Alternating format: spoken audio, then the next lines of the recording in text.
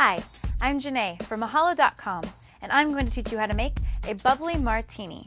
Now, anytime you hear the word bubbly, you know you're thinking champagne. And usually with champagne, you think probably vodka if it's going to be a martini or any kind of drink on the rocks. But a bubbly martini is actually gin and champagne. Now, you can do it in a champagne glass or a wine glass. You can actually serve it over ice if you'd like. But the traditional way of doing it is just pouring one and a half ounces of gin into a wine or champagne glass. And then you're gonna go ahead and top it off all the way to the top with your champagne. Just makes it a little stronger and gives it that little kick of gin. And that's how you make a bubbly martini. Thanks for watching.